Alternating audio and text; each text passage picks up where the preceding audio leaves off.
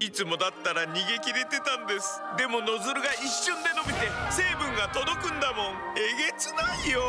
ワンタッチノズルで速攻退治。ゴキファイタープロストロング。なんだよあの会社。フマキラいつもは隙間にいれば安心だったんです。でも成分が奥まで追ってくるんだもん。しかも追い出し効果1ヶ月ってさ。逃さない。寄せ付けない。ゴキブリワンプッシュ。やばいよあの会社。フマキラ